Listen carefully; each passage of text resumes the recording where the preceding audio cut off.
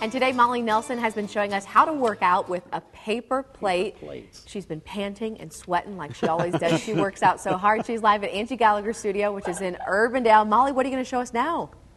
Good morning, Stephen Katie. Yeah, so if you add a plate to some exercises, you know, what we're going to do, you can do without a plate, but you add a plate and you get a way better workout. You're working your abs, you have to be, be, use more stability muscles, you use different muscles. It's tough. Angie Gallagher, certified trainer, is going to walk me through a few moves with a paper plate this Yes, morning. we are. Angie, push ups first.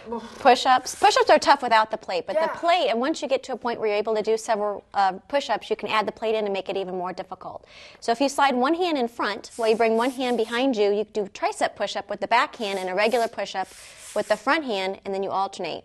All right, you- choose my limit. Choose your limit. Well, you got a great upper body workout there. The next one is with your feet on the paper plates. We're going to do something for the real low abs, right below the belly button. So you're going to be in a plank position and draw those, yep, draw those feet right up to the center.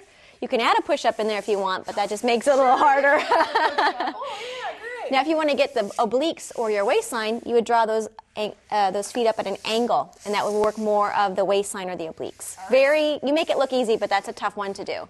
If you want to make it a little easier, you could always do a bent knee instead of straight leg. That'd be an easier version. Cool, now All we right. do some leg stuff. Yep. So for the inner and outer thigh, we're going to put one toe on the plate, and our hands are going to go the same direction as our feet, which slides behind us. This is a curtsy lunge. So we'll take it behind and go way down, yep, to you're parallel, and then you bring it back up.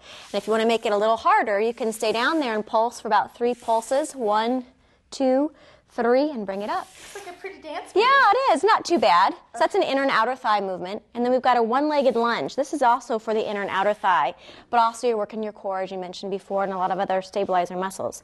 You take it as you sit back in the heel of the state of the foot that's still, and oh, you bring it back up. So you want to have very little weight in the foot that's got the paper plate movement. That's just for balance. All the weight's on In fact, if you want to make it a little harder, you can even bring that leg up off the plate before you stand up so that you get a really good thigh Ah, that is a good exercise. Makes it a little harder, so be careful when you do that one. All right, cool. Who knew you could do all this stuff with a paper plate? I know, plate? right? So This much is- fun. this is really neat. I know you do this and dancing and TRX We and do all kinds of Zumba, things. weights, everything in the classes. We do a little bit of everything. We never repeat it twice. All right, cool. Uh, Angie's website is fitnesswithangie.com. If you want to ask her any questions, check out any of her classes.